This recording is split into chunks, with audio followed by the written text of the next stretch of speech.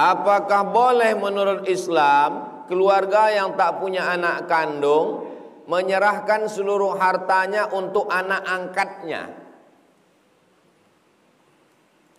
Kalau orang tidak punya anak kandung, laki bini. Kalau meninggal bininya, lakinya dapat setengah.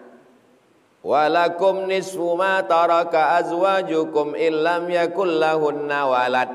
Hai kamu laki-laki dapat setengah harta binimu kalau tak ada anak.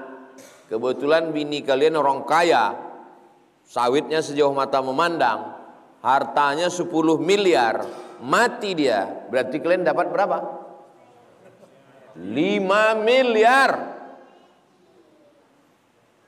Kalau yang mati laki, tak ada anak, berapa bini dapat? Walahunna rubu'u illam yakul lahunna walad illam yakul lakum walad. Istri dapat seperempat kalau tak ada anak. Lalu kemudian siapa lagi yang dapat? Karena tak ada anak, maka dibagi ke saudara kan. Saudara kandung dapat. Jadi si bapak ini berpikir, saudara kandungku ini enak kali dia dapat. Padahal anak angkatku ini rupanya ngambil anak adopsi, anak angkat. Anak angkatku ini yang ngurus aku waktu sakit. Dibuatnya lah surat semua harta warisanku ini ku kasih ke anak angkat. Adapun saudara kandungku itu selop Jepang pun jangan kalian kasih. Zolim. Melawan hukum Allah. Kalau mau menyelamatkan anak angkat, anak angkat itu cukup dikasih hibah. Kau anak angkatku, memang kau tidak lahir dari rahimku, tapi kau lahir dari hatiku. Lahir dari hati bisa jadi lebih sayang daripada yang lahir dari rahim. Aku tidak mau juga zolim kalau aku mati habis hartaku ini diambil saudaraku. Maka untuk menyelamatkan kau, kau ku kasih hibah.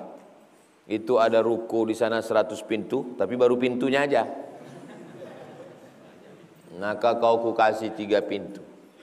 Adapun sisanya nanti untuk ahli waris dan ada wasiat untuk Masjid Muwahhidul Ummah karena mikrofonnya rusak. Kata orang yang mau meninggal tadi. Walaupun dia tak datang, dia nonton streaming, ditengoknya Ustadz tuh megang dari tadi kan. Jangan kasihkan semua ke anak angkat dan jangan pula sampai semua diambil ahli waris sampai anak angkat tak ada tak dapat. Eh dulu bersikap adillah kamu. Gimana caranya sikap adil? anak angkat kasih dia hibah.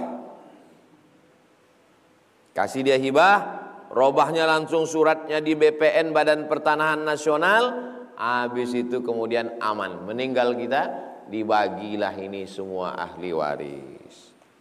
Begitu caranya. Karena kalau semua untuk anak angkat, zolim. Saudara kita pun punya hak terhadap kita.